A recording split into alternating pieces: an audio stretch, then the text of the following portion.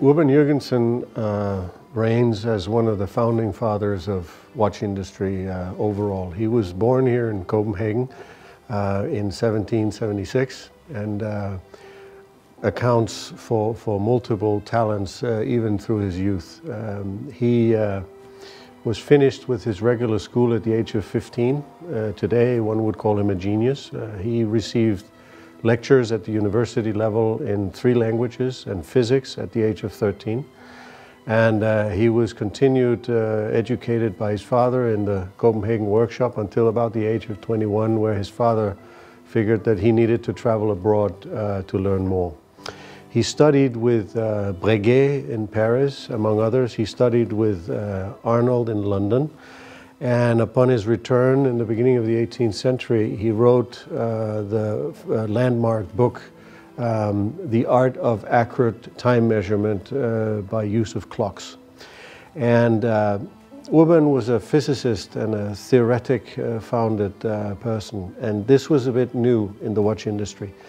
Previously, it, has been, it had been a lot of experimental things with constructions and, and, and principles but he really laid down the fundamentals. Uh, his sons continued his legacy uh, after his death in, uh, in 1834, uh, and the family of watchmakers continued um, excelling uh, worldwide in um, the art of fine chronometers. The company uh, has won a total of 34 gold medals and awards throughout history uh, at the World um, exhibitions around the Paris and Geneva, uh, Chicago, etc. And um, the last Jurgensen died uh, in 1912. So we really have a fundamental uh, uh impact uh, in the watch industry as a whole by Urban Jurgensen and, and, um, and the, the dynasty that he belonged to.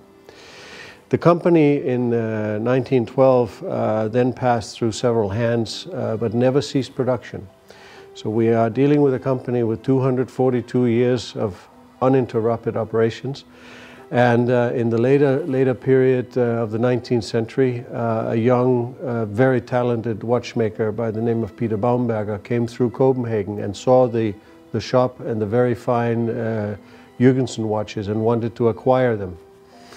The shop owner uh, unfortunately told him that you know these were part of the company and part of the company museum so uh, they were not really for sale. But for Peter Baumberger, that was just the start of, of, of the conversation.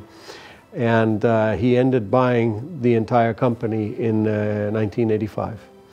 He then proceeded to uh, build uh, wristwatches as well as very fine pocket watches on old Ebauche from the 18th century that was left over in the company and finished uh, a total, we believe, around six to 700 watches in the 30-year period leading to his unfortunate uh, death uh, uh in, in 2009.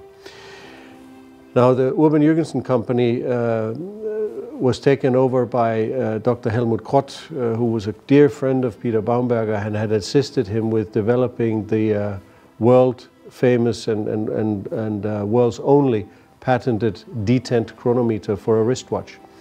But uh, Dr. Crott was an auctioneer uh, by trade and, and just wanted to ensure that the company was kept in good operating conditions and found then in myself and uh, five other selected investors uh, here from Denmark a new ownership circle and we acquired the company uh, a year ago now in, uh, by the end of, of 2014 in November.